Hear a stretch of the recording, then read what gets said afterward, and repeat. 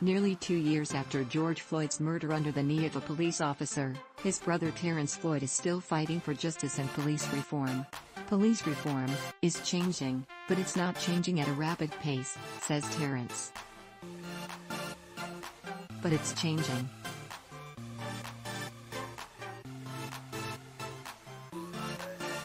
Nothing in the physical form will change until you change your mindset.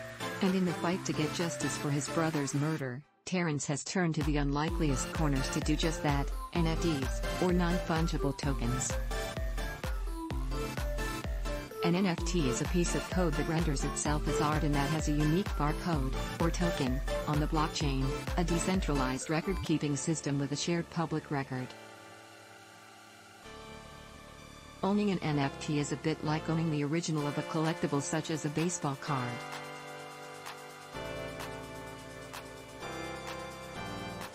Terrence Floyd, founder of the nonprofit We Are Floyd Org, an organization creating initiatives to help communities deal with mental health issues, poverty and social injustice, is working with Confront Art to release 9,000 NFTs on Mint.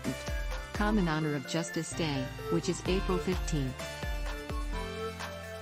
The proceeds from the project will go to three charities, the Breonna Taylor Foundation, the John and Lillian Miles Lewis Foundation and We Are Floyd Org.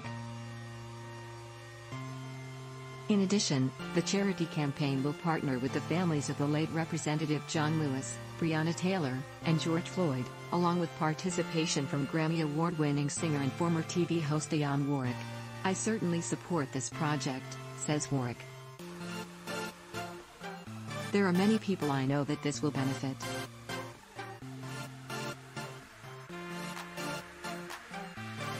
And it will be something that's an approachable way for people to get involved. As the campaign gears up for its launch, organizers say they're aiming to celebrate and support diverse emerging NFT artists and their work while also helping the charities. We are constantly looking for innovative ways. We are excited to bring together entertainment legends and emerging artists alike for a major movement for social justice and charity in the metaverse.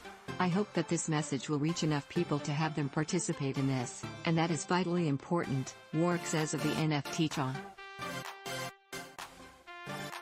We must raise these funds. According to the organizers, the NFT campaign is an extension of Confront Art's Seeing Justice series, which debuted sculptures of Lewis, Taylor and Floyd by artist Chris Carnabuci. The sculptures were installed in New York City's Union Square last year in the wake of the country's racial unrest in the summer of 2020. My brother's death was a catalyst for change, Terrence Floyd said in a news release.